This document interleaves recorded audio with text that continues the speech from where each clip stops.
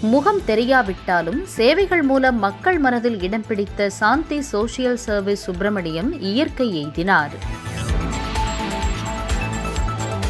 கோவை சாந்தி gears முன்னாள் இயக்குநராகவும் சாந்தி social service அமைப்பின் அறங்காவலராகவும் இருப்பவர் சுப்பிரமணியம். தொடக்க காலத்தில் தனியார் கல்லூரியில் ஆசிரியராக பணியாற்றினார்.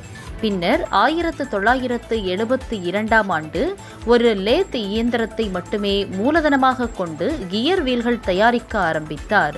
ஆரம்ப காலகட்டத்தில் ஜவுளி இயந்திரங்களுக்கு உதிரி பாகங்கள் தயாரித்தவர் பின்னர் தொழிலை விரிவாக்கம் செய்து வெளிநாடுகளுக்கும் ஏற்றுமதி செய்தார். கடந்த சில வருடங்களுக்கு முன் தனியார் நிறுவனம் ஒன்றுக்கு சாந்தி கியர்ஸ் விற்கப்பட்டது.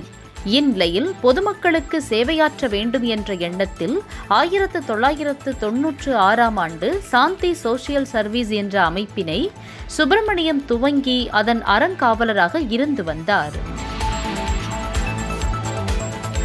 இந்த அமைப்பின் மூலம் லாப நோக்கமின்றி சேவை மனப்பான்மையுடன் உணவகம் மருத்துவமனை மருந்தகம் போன்றவற்றை கடந்த இருபத்தி நான்கு ஆண்டுகளாக நடத்தி வருகிறார். சிங்காநல்லூர் பகுதியில் இயங்கி வரும் சாந்தி சோசியல் சர்வீஸ் வளாகத்தில் தினமும் அறுபது வயதிற்கு மேற்பட்ட முன்னூறு பேருக்கு இலவச உணவும் வழங்கப்பட்டு வருகின்றது. முப்பது ரூபாயில் மதிய உணவு குறைந்த விலையில் சிற்றுண்டி என தரமான உணவு வழங்கப்படுவதால் தினமும் ஏராளமானோர் வந்து செல்வர். மேலும் அங்குள்ள மருத்துவமனையில் மருத்துவர் கட்டணம் முப்பது மருந்துகளில் முப்பது சதவீதம் தள்ளுபடி குறைந்த பணத்தில் பரிசோதனை என பல்வேறு சலுகைகள் உள்ள காரணமாக எப்போதும் மக்கள் கூட்டமாகவே காணப்படும். சுப்பிரமணியம் நடத்திய சாந்தி சோஷியல் சர்வீஸ் பெட்ரோல் பங்கிலும் எரிபொருள் நிரப்ப எப்போதும் வாகனங்கள் நீண்ட வரிசையில் காத்திருக்கும். தம்மை அடையாளப்படுத்திக் கொள்ளக்கூடாது என ஊடகங்களில் முகத்தை காட்டுவதில்லை என்பதில் இறுதி வரை உறுதியாக இருந்தவர் சுப்பிரமணியம்.